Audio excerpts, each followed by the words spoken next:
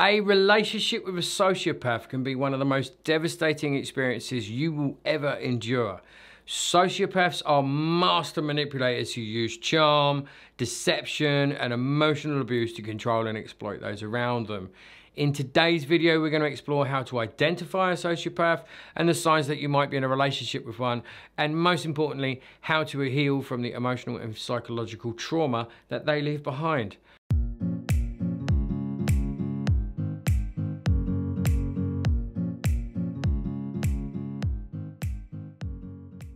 So, what is a sociopath? Well, it's someone who has antisocial personality disorder, ASPD, a mental health condition characterized by a pervasive pattern of disregard for the rights and feelings of others. Sociopaths lack empathy, just like a narcissist. They have a tendency to violate social norms and often engage in deceitful, manipulative, and harmful behaviors without feeling guilty or remorseful. Whilst not all sociopaths are violent or criminal, their lack of empathy and manipulative tendencies can make them extremely dangerous in relationships. They are skilled at identifying and exploiting the vulnerabilities of others, and they often leave a trail of emotional and psychological destruction in their wake. Sign number one superficial charm and manipulation. One of the most common traits of a sociopath is this superficial charm. They are often charismatic, confident, and persuasive, making it easy for them to win people over. However, this charm is often a facade and it's designed to manipulate and control those around them. In the early stages of a relationship, a sociopath may shower you with attention, affection, and flattery, making you feel special and valued, which is otherwise known as a love bombing. And again, it's very, very similar to narcissistic dynamics. And it's a tactic that's used to quickly establish trust and emotional dependence. And once they have you hooked, they begin to reveal their true nature, manipulating, deceiving, and controlling you to meet their own needs. Sign number two, just like a narcissist, they will have a lack of empathy and they will not have any remorse. Sociopaths are incapable of feeling empathy for others, which means they don't experience guilt, remorse, or concern for the well being of others. This lack of empathy allows them to engage in harmful behaviors without any regard for the impact on their victims. So, if you're in a relationship with a sociopath, you may notice that they have little to no reaction to the pain or the suffering of others. They may well dismiss or minimize your feelings. They may make cruel or insensitive comments or show indifference to situations that would normally elicit concern or sympathy. Sign number three is pathological lying. Sociopaths are notorious for their ability to lie and deceive with ease. They may well lie about their past, their intentions, or even small details of their daily life. And these lies are often told with such confidence and such conviction that it can be very, very difficult to distinguish the truth from fiction. And in a relationship, this pathological lying can create a constant state of confusion and mistrust. You may find yourself questioning your own perceptions, doubting your instincts, and feeling constantly on edge, never knowing what's true and what's not.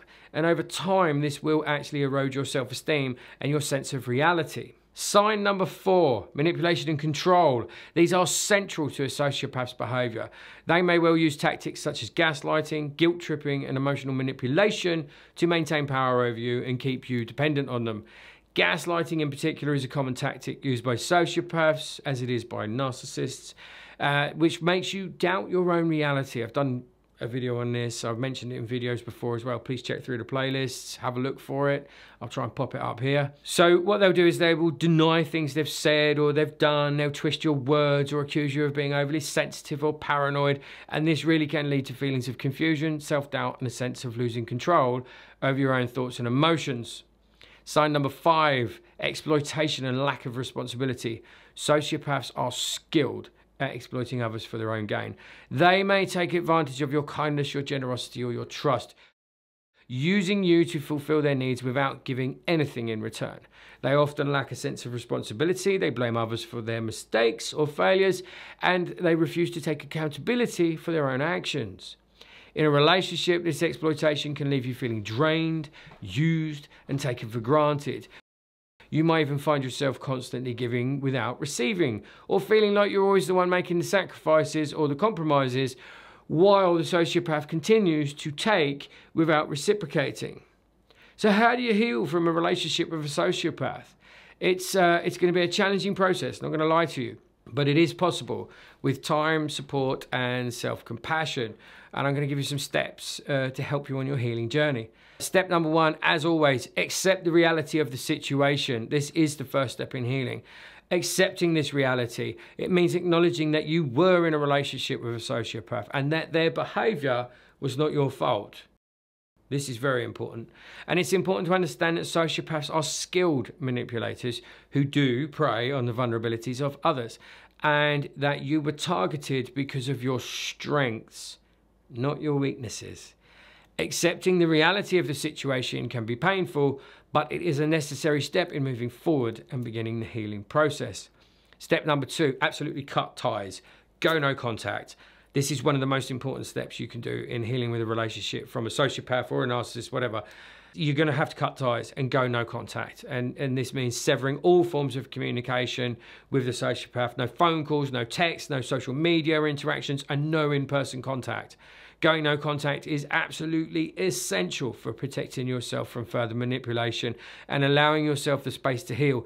If going no contact is not possible due to shared responsibilities, such as children and stuff like that, it really is important to establish strict boundaries and limit contact as much as possible.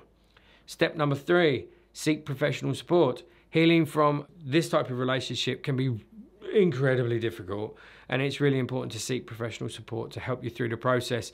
A therapist can provide a safe space for you to process your emotions, work through any trauma, and develop strategies for rebuilding your life.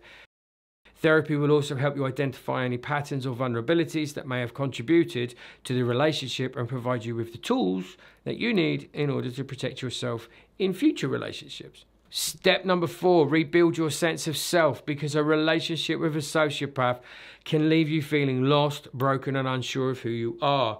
I mean, relationship breakups do that in general, but one with a sociopath is really going to do it. It's going to be amplified big time. So, rebuilding your sense of self is a crucial part of the healing process. And this involves reconnecting with your interests, your passions, your values, and rediscovering the person that you were before the relationship started and also the person that you are now. Engage in activities that bring you joy, fulfillment. Surround yourself with supportive people who uplift and encourage you. Practice your self compassion and your positive self talk. Grab those negative thoughts and that devaluing stuff that you do in your head. Grab it, throw it out, reframe it, and remind yourself that you are worthy of love, respect, and happiness. Step number five educate yourself because educating yourself about sociopathy and personality disorders is going to be nothing but empowering and it's going to help you make sense of your experience. You're going to see what was going on and and and what had happened to you and why. Understanding the traits and the tactics of the sociopath will provide clarity and validation and will help you recognize red flags in future relationships and there's a there's a ton of resources available. There's books, there's articles, there's Google, there's YouTube, there's all of that stuff, support groups, and they're all going to provide valuable information. You've got to select the information, but um, and it's going to support you as you navigate the healing process. Educate yourself about your experience. It's going to give you wisdom. Knowledge on its own is not wisdom. Experience on its own is not particularly wisdom either, unless there's learning involved. Once you add in the education, then you end up with uh, wisdom and then that wisdom will help you as you move forward in your life.